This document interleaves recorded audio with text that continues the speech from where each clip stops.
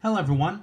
Today's devotional reading will be from the Gospel of John, chapter 14, verses 7, verses 27 through 31, where it is written, Peace I leave with you, my peace I give to you, not as the world gives do I give to you. Let not your heart be troubled, neither let it be afraid. You've heard me say to you, I'm going away and coming back to you. If you loved me, you would rejoice because I said, I'm going to the Father, for my Father is greater than I. Now I have told you before it comes, that when it comes to pass you may believe. I will no longer talk much with you, for the ruler of this world is coming, and he has nothing in me. But the world may know that I love the Father, and the Father gave me commandments, so I do. Arise, let us go from here. This is the gospel of the Lord. Praise to you, O Christ. So, the disciples are waiting. Christianity is a faith of waiting. We know Jesus Christ has come. We know he's coming again to make all things right. When? We don't know. You know, and that's not uncommon. You know, a woman can get pregnant, and she knows it'll be about nine months. But what's the exact date? Doesn't know.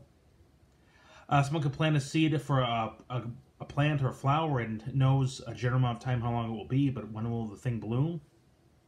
Don't know. Know, someone going to seminary or going to be a doctor, it's going to take a long time, but how much? They don't know. So it is with following Jesus Christ. We know one day he'll return. Death will be gone. He'll forgive us our sins. All things, well, he has forgiven us our sins. He'll make all things right. No more suffering, no more pain. He'll wipe every tear from our eyes. But when? We don't know. It'll take as long as it takes.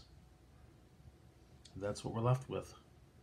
At some points, this is frustrating because, come on, this world is sick and twisted and fill in the blank. We want it to uh, be over right now. We want the Lord to come. But we're left waiting. No, have no doubts. He is going to uh, arrive eventually, and all these things will be over. But we don't know when. So instead of going uh, almost like teasing you, going in and in and in, it's coming, or is it? Yes, it's going to happen. Take peace, take comfort, knowing that yes, God loves you.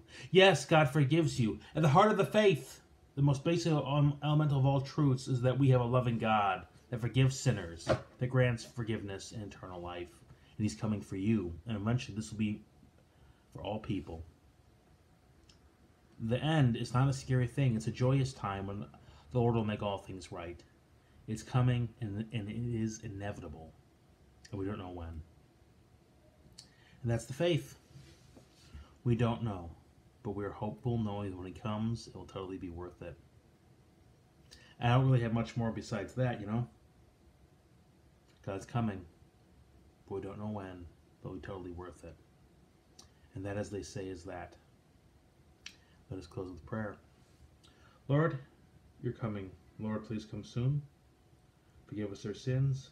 Save us from save us from not being penitent and being egotistical, but God forgive us and bring us to you always.